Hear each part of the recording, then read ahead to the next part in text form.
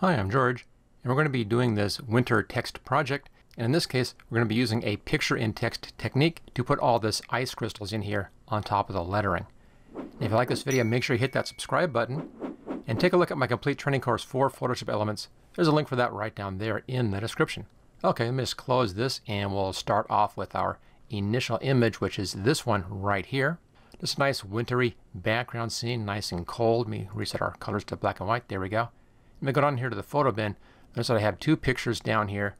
This is the one for the background, and we'll be using this picture to add the ice crystals into the text. Okay, let's go back here. Now, the first thing we need to do is to put in our text for this. I'll just grab the type tool over here. And what you're looking for is a real thick typeface. Now, it's easy to see. If I scroll through real fast here, you'll see these things just kind of pop out because they're so thick. Like these are beginning to get pretty dark in there. That's good. Those are pretty good. You want something that has enough thickness in the lettering to be able to show a picture inside. You know, thin things will not show your picture, so you want to have some kind of a really thick typeface. So let's go back down here to the one that I've chosen, which is the Gill Sans Ultra Bold. I like this because it's just a simple typeface, but it's very, very thick. A lot of room in here to put in a picture, so I use that one. And I'll set my type size here. You can just type it in right down here. I'll set this to 120 just to start off with. We may adjust that if we need to. Leading doesn't matter. I'll put that at auto. And color should be black. There it is. We'll change our color later when we get down to that point. And I'll set this for left justified. Okay, now just over in here someplace, click in there, and you get this line happening. That's your insertion point. I'll type in the word, and that's a bit too large, so let's just double click and let's bring our size down 72. Let's see how that does. And missing the I. Fix that. There we go. Now it's a little bit too big, and it's kind of going off to the side. So you can change the size here just by dragging on the corners. Click on a corner and you can then move it a little bit. And once you do that, notice how the outline changed here. Again, more space down below. Let me just show you that again. So click onto the letter. If you don't see these control handles out here, hold the Control T keyboard shortcut down and you'll see those control handles. And then you can grab that corner and pull that in and actually make your type size larger or smaller. Also at this point you can make it taller if you want to. Just grab this middle one, you can stretch your type up or down. So you have some ability in here to really get the size exactly what you want. And I'll put it right here. A little taller gives us more space, of course. There we go. Now it's our first text layer. Now, go up here to that text, right click and duplicate layer. Choose OK. And I have two text layers. I'm going to hide this layer right now. We'll come back to that. This is going to be our shadow. I'll just type in shadow right there. And then up here, this is the main text layer. Okay, now let's go down to the photo bin, bottom left-hand corner. Here's our second picture right here. And I'm going to do is go back to our original picture. Then I'll just take this thumbnail, don't click on it, just grab and drag, and you can drag that right into your other picture. There we go, it just kind of drops in like that, so you can easily combine both pictures in one. Now the size is a little off as you can see on this, so I'm going to grab the side here, just make it a bit larger, and make sure it covers up the whole text. There we go, and click the green check mark for OK.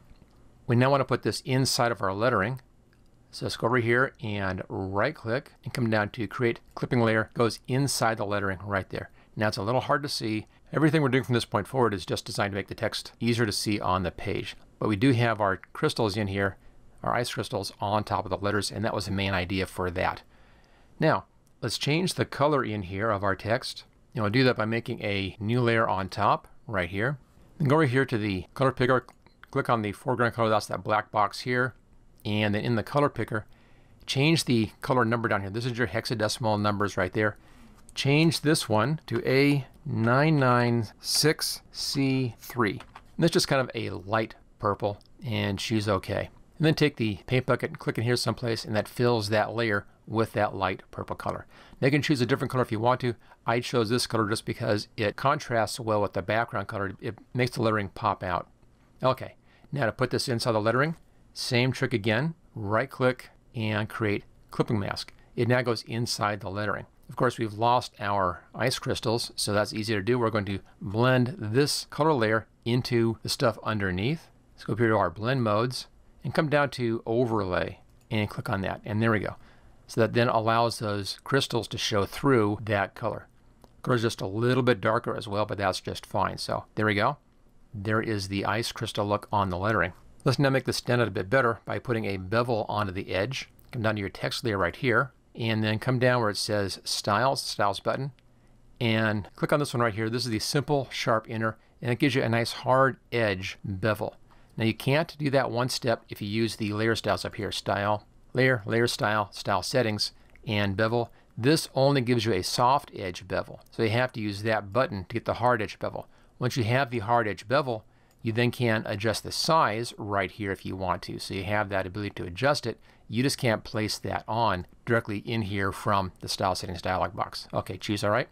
There we go. There's our nice hard edge bevel on that. And back to our layers again. This is all looking pretty good. Let's now go back to our shadow layer right there. And make sure you're on the move tool and then show that layer. And then I'll use the arrow keys to move the text down. There we go. And then over until you get a nice bit of a large shadow showing outside. I'm just tapping it a whole bunch of times until it looks good. Again, I want to have a lot of space showing in here, a nice thickness on the shadow so I can put some imagery in there and we can see that imagery in behind. Okay, there's the basic shadow. Let's now change the color for the shadow. So grab the type tool and double click. That's going to select the type. It's in black right now. Click on the color box right here and click on this little icon there, little color wheel icon and that brings the color picker back up, but in this case it's back up for the text. Now right down here in the hexadecimal number area, type in 000254, and that's a nice medium dark blue, and choose OK. And okay, so there's our medium dark blue. And that's the main reason for putting this shadow in as a text layer instead of going up here and using layer, layer style, style settings, and the drop shadow right here. This just gives you a black drop shadow. You don't get a color drop shadow, so that's why that text layer. And I want to see some energy through the lettering. We can do that again by using a blend mode.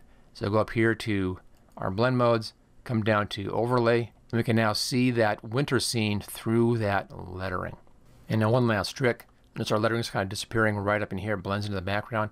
So let's give our lettering a little thin outline, and that's our text layer right here and then double click on the FX over here. That's your layer styles, brings that back up again. And let's give this a stroke. There we go. And at this point, the stroke is in black. So click on that black icon.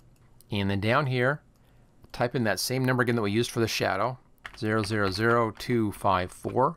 Choose OK. And that now matches that background just a little bit.